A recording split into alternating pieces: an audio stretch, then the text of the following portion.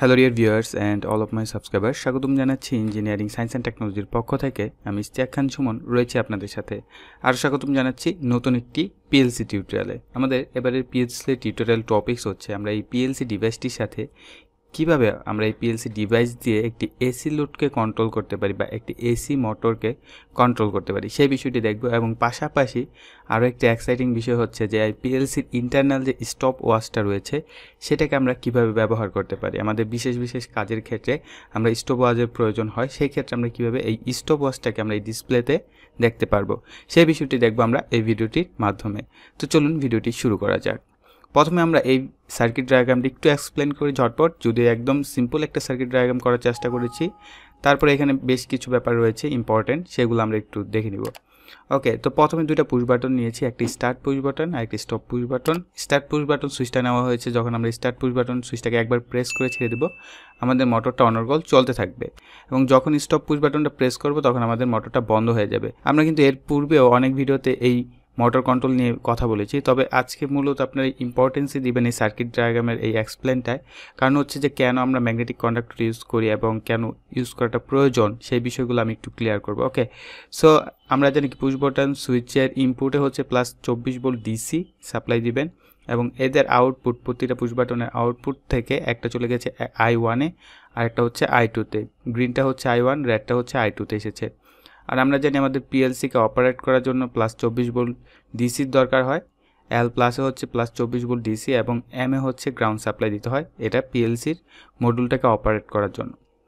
তারপরে কিউ ওয়ানে হচ্ছে আমরা ফেজ নিয়েছি এবং এই কিউ ওয়ানের ওয়ান নাম্বার পিনে ফেজ এবং টু নাম্বার পিনে কি? যখন কন্ট্যাক্ট পায়, তখন আমাদের কি আউটপুটে ফেজটাই আসে। অনেকটা নর্মালি ওপেন কন্ট্যাক্টের মতো। যখন আমাদের ইনপুট সুইচটা প্রেস করা হবে এবং আমরা লেটার ড্রাইগ্রাম বলে দেবো যে হ্যাঁ তুমি কি করো কিউ ওয়ানকে হাই করে দাও। তখন কিউ ওয়ান কি কন্ট্যাক্টটা লেগে যাবে। লাগার ফলে কি হবে? আমাদের এই পথ দিয়ে কি ফেজটাই প্রবাহিত হতে থাকবে। ওকে আর নিউট্রাল বরাবর কমন করে দিয়েছি। এখন আপনারা খেয়াল করেন, আমরা এই পিএলসি থেকে আমরা ফেজ এবং নিউট্রাল দিয়ে কাকে কন্ট্রোল করছি? এই ম্যাগনেটিক কন্ডাক্টরটাকে কন্ট্রোল করছি। ম্যাগনেটিক কন্ডাক্টরে এ ওয়ানে হচ্ছে আমরা ফেজ সাপ্লাই দিয়েছি। আর এ টুতে হচ্ছে নিউট্রাল বা এটা উল্টাপাল্টা হলে সমস্যা নেই, যেমন এখানে এ টুতে আমরা ফেস সাপ্লাই দিয়েছি এ ওয়ানে হচ্ছে নিউট্রাল ওকে সো এক কথায় আমরা এটাকে জাস্ট ফেস এবং নিউট্রাল দিলেই হয়, কারণ হচ্ছে এটার ইন্টারনাল একটা কয়েল রয়েছে, যে কয়েলটা এনার্জাইজড হওয়ার ফলে এই কন্ট্যাক্টগুলো লেগে যায় অথবা খুলে যায়। এবং এটার ইন্টারনালি দুই ধরনের কন্ট্যাক্ট থাকে ম্যাগনেটিক কন্ডাক্টরে কিছু কিছু ম্যাগনেটিক কন্ডাক্টরে শুধু নর্মালি ওপেন কন্ট্যাক্ট দিয়ে করা থাকে, কিছু কিছু নর্মালি ক্লোজ দিয়ে করা থাকে, আবার কিছু কিছুতে দুইটা কম্বাইন থাকে নর্মালি ওপেন কন্ট্যাক্ট এবং ক্লোজ কন্ট্যাক্ট অনেকটা রিলের মতো। ঠিক আছে? তো ওপেন কন্ট্যাক্টগুলো এরকম থাকে যেগুলো রিলে কয়েল এনার্জাইজড হওয়ার পরে কি হয়ে যায়? ক্লোজ আর যেগুলো ক্লোজ থাকে সেগুলো ওপেন হয়ে যায়। ওকে সো তারপরে দেখেন আমরা জাস্ট এখানে কি করেছি?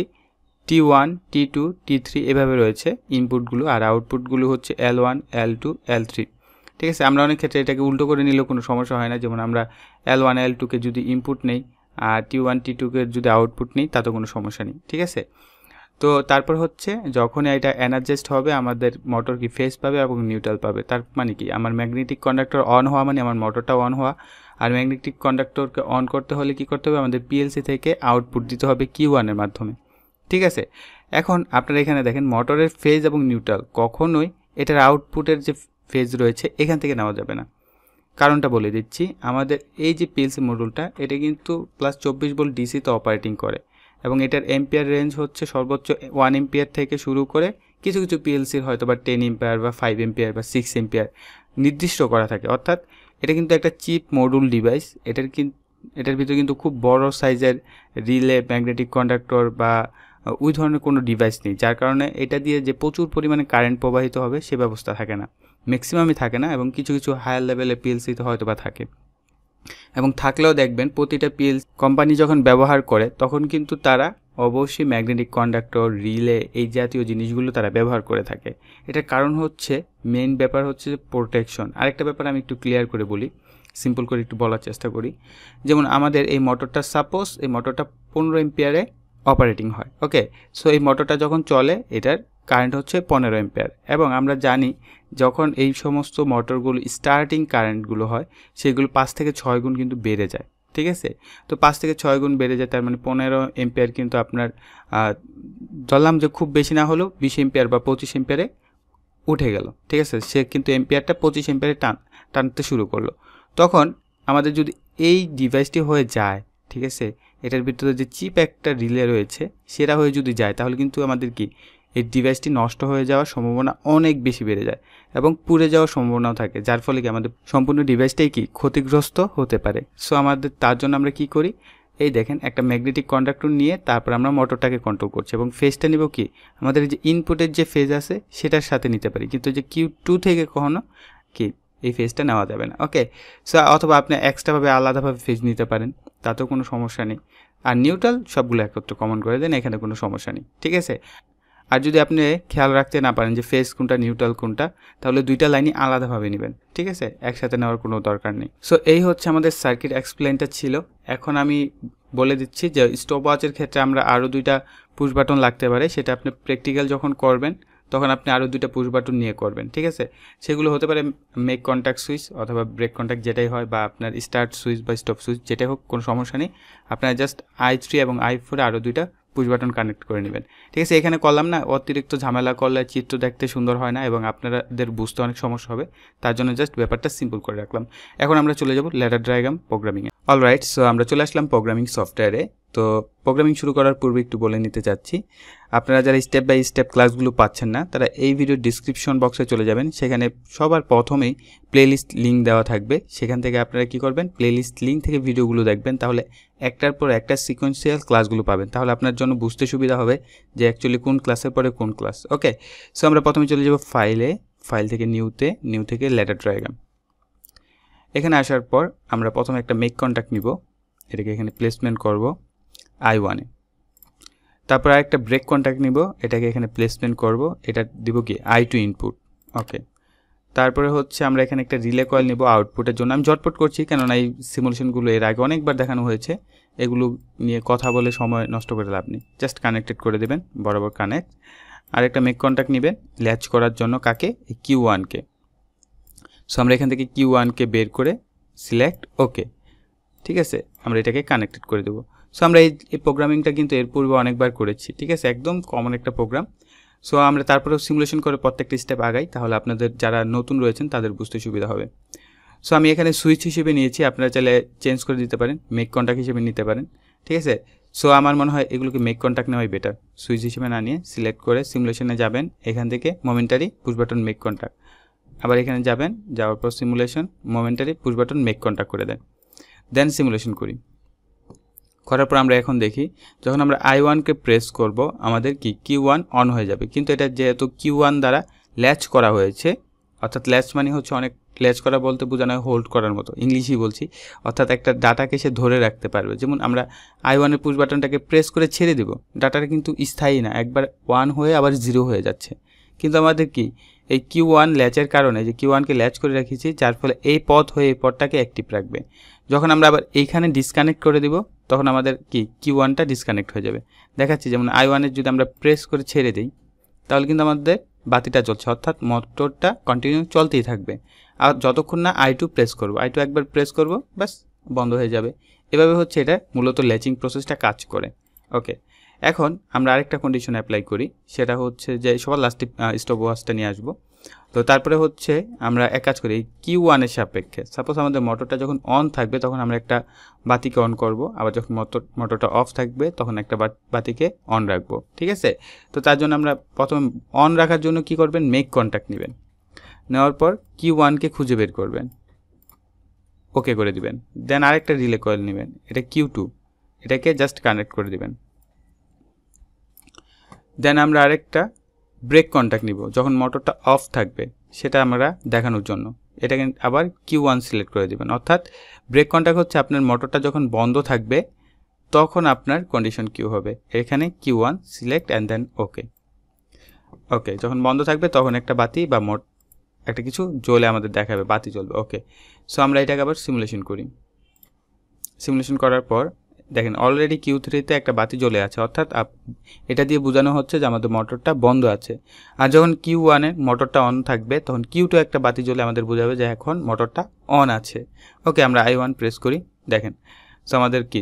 দুইটা অন আছে, এখন কিউ থ্রি অফ আছে। আবার যখন প্রেস করব, এটা অন হয়ে যাবে। ঠিক আছে? খুব সিম্পল কিন্তু। জাস্ট আপনার যদি লজিকটা বুঝেন, তাহলে খুবই সিম্পল এখন আমরা আসি স্টপ ওয়াচে স্টপ ওয়াচের জন্য আপনি চলে যাবেন স্পেশাল ফাংশন এখান থেকে টাইমার টাইমার থেকে সবার নিচে দেখবেন স্টপ ওয়াচ আমরা এটাকে সিলেক্ট করছি, এখানে প্লেসমেন্ট করব, একটু দূরে করব। কারণ এখানে আরও পুশ বাটন টানা হবে। ওকে সো আমরা এটাকে কানেক্টেড করে দেবো কার সাথে? আমাদের এই যে আউটপুট আছে আউটপুটের সাথে। আমরা আউটপুটটা অর্থাৎ আমাদের মোটরটা কত সেকেন্ড যাবৎ রানিং আছে, সেটা আমরা দেখব এই স্টপ ওয়াচের মাধ্যমে। আর স্টপ ওয়াচ সম্পর্কে আরেকটু ইন ডিটেলস বলে নিচ্ছি। আপনারা কীভাবে এটার ইনফরমেশনটা জানবেন, তার জন্য এটার উপর মাউস ল্যাপাটপ ডাবল ক্লিক করবেন। করার পর এখানে দেখবেন হেল্প অপশন রয়েছে।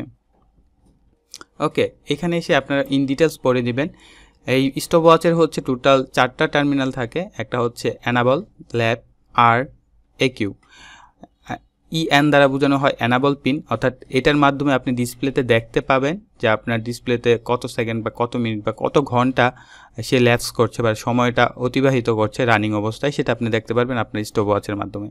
তারপরে ল্যাপ হচ্ছে যে আপনার কত সেকেন্ড পরে একটা আপনি সিগন্যাল দিলেন। সাপোজ এরকম হতে পারে যে একটা প্রোডাক্ট সেটা হচ্ছে আপনার দশ সেকেন্ড বা পনেরো সেকেন্ড পর একটা পথ ঘুরে আসে।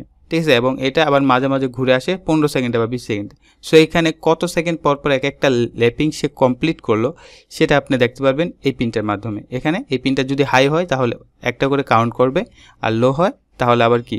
লো হয়ে আবার হাই হলে আরেকটা কাউন্ট করবে এইভাবে আর আর দ্বারা বোঝানো হয় রিসেট সাপোজ আপনার স্টপ ওয়াচে একশো সেকেন্ড কাউন্ট করেছে, আপনি রিসেটে চাপলে আবার জিরো থেকে সে আবার কাউন্ট ডাউন শুরু করবে।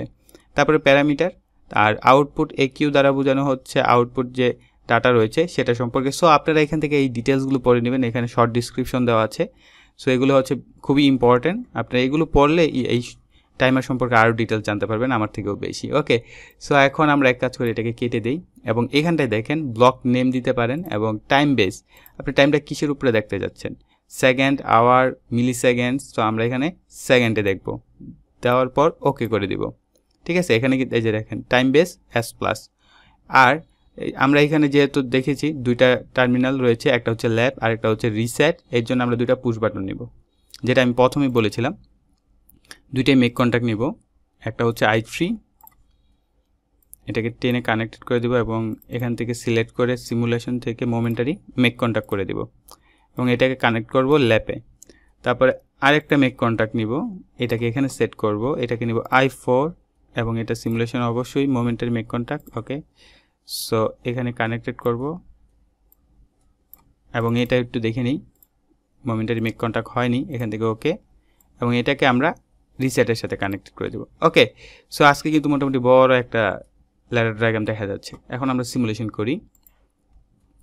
সিমুলেশন করলে আমরা অলরেডি একটি বাতি জ্বলে আছে। এখন আমরা দেখব যে আমাদের যে আউটপুটটা অন করার পর আমাদের এই যে টাইমারটা আছে বা আমাদের স্টপ ওয়াচটা আছে, এটা কিন্তু অন হয়ে যাবে। ঠিক আছে? অর্থাৎ আমাদের কিউ ওয়ান অন হয়ে থাকবে যখন, তখন এই টাইমারটা কাউন্ট ডাউন করব। সো আমরা আই ওয়ান প্রেস করে ছেড়ে দেবো। এই যে আমাদের কারেন্ট টাইম ল্যাপস টাইম কি আউট টাইম সো আমরা এখন যদি এই আই থ্রি প্রেস করি, তাহলে দেখবেন যত সেকেন্ড আছে সাপোজ ফিফটিন সেকেন্ড যদি হয়, তাহলে ফিফটিন সেকেন্ডে একটা ল্যাব কমপ্লিট হবে। ওকে, দেখেন ফিফটিন সেকেন্ডে একটা ল্যাব কমপ্লিট করেছে। এখানে কিন্তু সে হোল্ড করে রেখেছে, যে আমাদের একটা ল্যাব কমপ্লিট হয়েছে ফিফটিন সেকেন্ডে এখন আবার পরবর্তী যে সময় আমরা প্রেস করব, এই সময়টাকে সে ল্যাচ করে রাখছে। ঠিক আছে? এইভাবে হচ্ছে আমাদের এই ল্যাবটা ল্যাব টাইম কাউন্ট করে। তারপরে হচ্ছে আই ফোর এখন আমরা যে টাইমটা দেখতে পাচ্ছি, সবগুলোকে একেবারে রিসেট করে দিবে। ওকে জিরো থেকে আবার কাউন্টডাউন শুরু। ওকে এভাবে হচ্ছে স্টপ ওয়াচটা কাজ করে এবং আপনাদের এই ডিসপ্লেটা আপনারা এই যে কাউন্টডাউনগুলো এগুলো সব কিছু দেখতে পারবেন। আপনার পিএলসিতে যদি ডিসপ্লে থাকে, ঠিক আছে? তাহলে দেখতে পাবেন আর যদি ডিসপ্লে না থাকে, তাহলে আপনার এই ওয়াচের কোনো ব্যবহার নেই, ঠিক আছে? যেমন ও বি এ জিরো থেকে এ ফাইভ পর্যন্ত কোনো ডিসপ্লে থাকে না, ওই ক্ষেত্রে আপনার এই ওয়াচের কোনো কাজ নেই। স্টপ ওয়াচটা শুধুমাত্র ওবি এইট সিরিজ থেকে শুরু হয় এটার কাজ, ঠিক আছে? ওবি এ সিক্স থেকে শুরু হয় আর কি। এ সিক্স সেভেন এইট সবগুলোতে আছে। ওকে এবং পরবর্তীতে সব কটাই ডিসপ্লে রয়েছে। সেগুলোতে আপনারা চাইলে এই স্টপ ওয়াচটা দেখতে পারবেন। ওকে আমাদের এই ভিডিও এই পর্যন্তই। আশা করি ভিডিওটি আপনাদের ভালো লেগেছে। ভালো লাগলে ভিডিওতে একটা লাইক দিন এবং ভিডিওটি শেয়ার করেন আপনার ফ্রেন্ডসদের সাথে, যাতে তারাও এই ধরনের ভিডিও দেখে কাজ শিখতে পারে। আর যারা এখন আমাদের চ্যানেলটি সাবস্ক্রাইব করেনি পরবর্তী ক্লাস পেতে হলে এরকম সিকোয়েন্সিয়াল ক্লাস পাওয়ার জন্য অবশ্যই কি চ্যানেলটিকে সাবস্ক্রাইব করবেন এবং পাশে থাকা বেল আইকনটি অ্যাক্টিভ করে রাখবেন পরবর্তী ভিডিও সবার আগে পাওয়ার জন্য। সো এই বলে এখানেই বিদায় নিচ্ছি। সকলে ভালো থাকবেন, সুস্থ থাকবেন। টাটা।